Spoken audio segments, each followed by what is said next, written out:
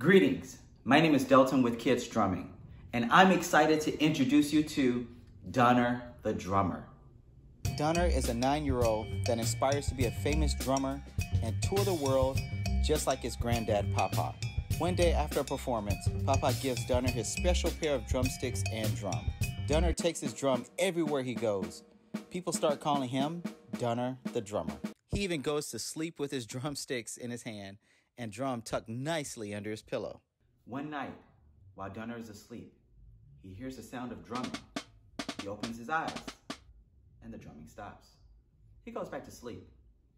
He hears the sound of drumming again. He opens his eyes, and the drumming stops.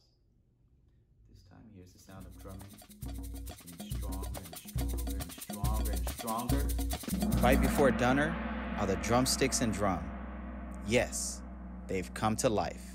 Let's go on a world percussion journey with Dunner the drummer, his sidekick Sticks, and Jazz.